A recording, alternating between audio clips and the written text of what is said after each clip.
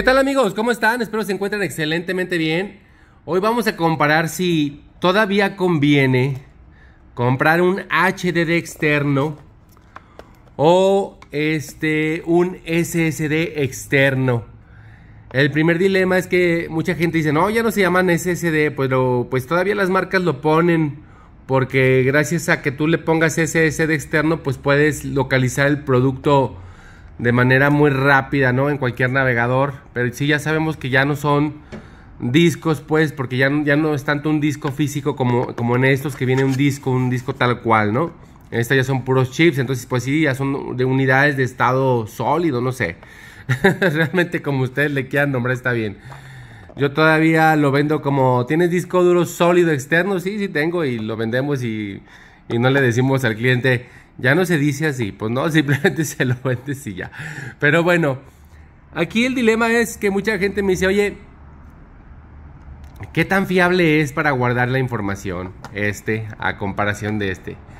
Y yo les digo la verdad, ninguno es fiable. Ni uno de estos dos es fiable. Tú siempre tienes que tener tu información duplicada o hasta triplicada. ¿Por qué? Porque son productos electrónicos. Entonces, tarde o temprano van a fallar.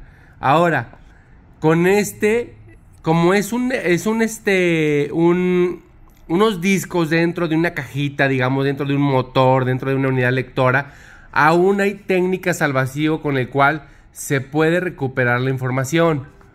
Pero ya este es súper difícil porque es, son, son chips soldados eh, por robots, digamos, perfectamente, que ya va a ser muy difícil de soldar ese chip, ponerlo en otra tarjeta para ver si se puede recuperar la información. Ahora, estos transfieren hasta 90 kilobytes, estos transfieren a 1050. Entonces son súper rápidos, están muy padres. Su conectividad es tipo C y este es tipo USB 3.0.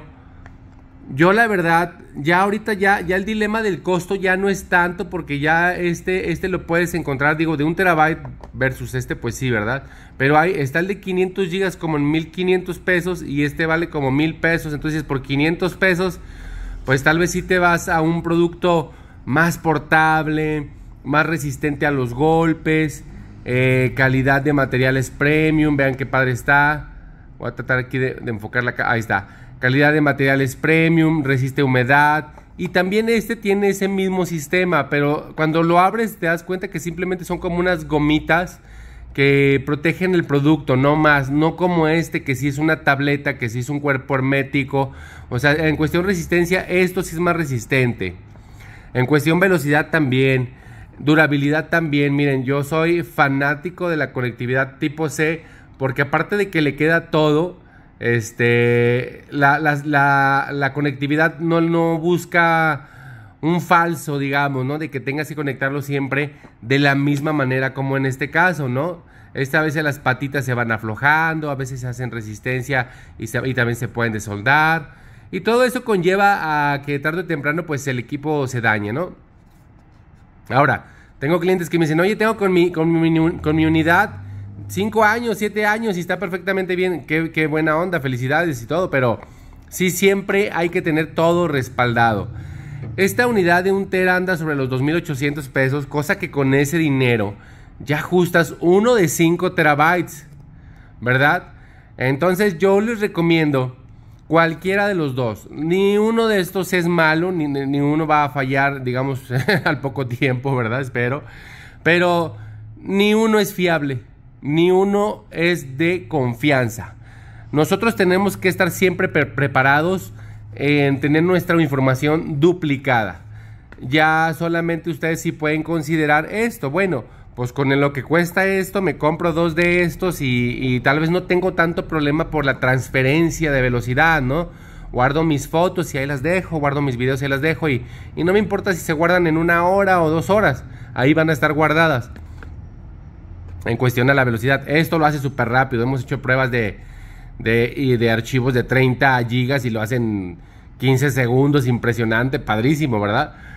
Pero va más hacia otro aspecto, pues digamos, la portabilidad es muy cómoda, la conectividad. Ahora, este lo utilizan mucho ya para los, los PlayStation y el Xbox. Lo puedes poner, conectar allá, ya te queda como tipo este, para que no andes metiendo más discos, pues digamos esta unidad te saca del rollo y aquí puedes instalar los juegos. Así funciona, ¿eh? se los recomiendo y garantizado. También para el PlayStation y el Xbox nuevo. Y este pues también, pero a una velocidad pues, muchísimo más lenta, ¿no? Entonces ahí puede diferir entre lo que realmente necesitemos. Si necesitamos velocidad, pues nos la aventamos. Si necesitamos espacio y economía, pues este. Pero confiabilidad, ninguno. Ninguno es confiable. Ustedes tienen que tener su información duplicada dos o tres veces. Y si se les descompone un aparato, Ahí está el otro aparato. Ahora, o compren la nube, ¿no? Cómprense el que quieran de estos más la nube. Pues bueno, amigos, esta es la recomendación del día de hoy, porque nos la estaban pidiendo muchos de nuestros clientes. Oye, ¿cuál me compro y por qué? Cómprate los dos, pero siempre respalda tu unidad. Bueno, que se la sigan pasando excelentemente bien y hasta la próxima.